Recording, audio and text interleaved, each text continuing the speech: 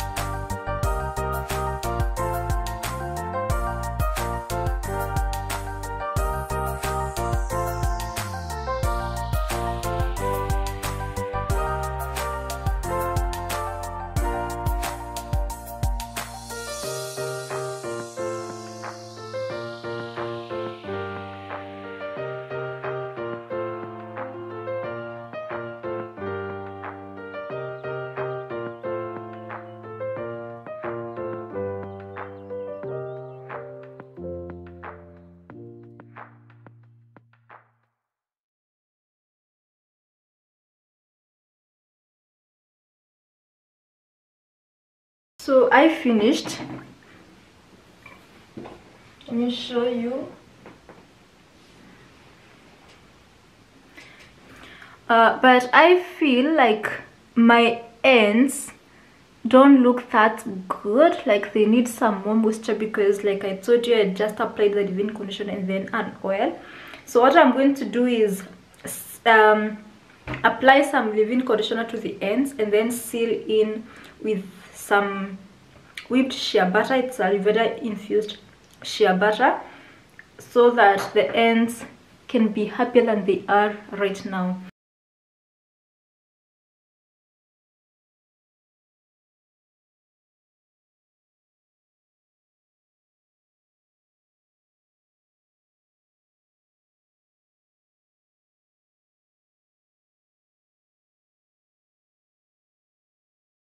done with moisturizing the ends and now they are much much better. I should have done this as i was braiding yeah. Anyway this is how the hair looks.